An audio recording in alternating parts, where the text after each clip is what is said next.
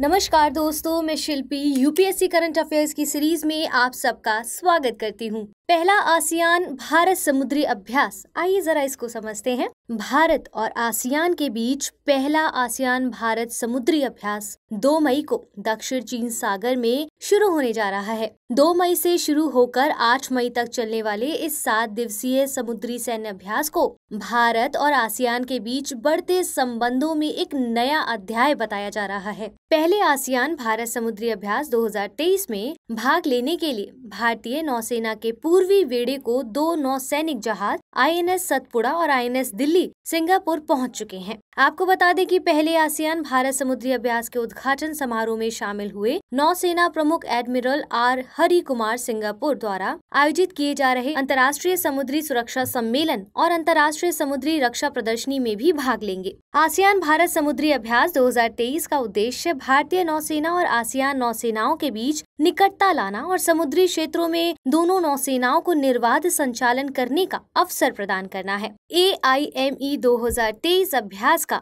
हॉर्वर phase 2 मई से 4 मई तक, Singapore के चांगी नेवल बेस पर और सी फ़ेज़ सात मई से आठ मई तक साउथ चाइना सी में आयोजित किया जाएगा। भारत का पहला स्वदेश निर्मित निर्देशित मिसाइल विध्वंसक आईएनएस दिल्ली और स्वदेश निर्मित निर्देशित missile stealth frigate INS Satpura Singapore में अपने पोर्ट कॉल के दौरान अंतर्राष्ट्रीय समुद्री रक्षा प्रदर्शनी और अंतर्राष्ट्रीय समुद्री सुरक्षा सम्मेलन में भाग लेंगे। 1990 के दशक में भारत की लुक ईस्ट पॉलिसी के परिणाम स्वरूप 1992 में भारत को आसियान का एक क्षेत्रीय भागीदार बन गया था। आसियान 10 दक्षिण पूर्व एशियाई राष्ट्रों का राजनीतिक और आर्थिक संघ है।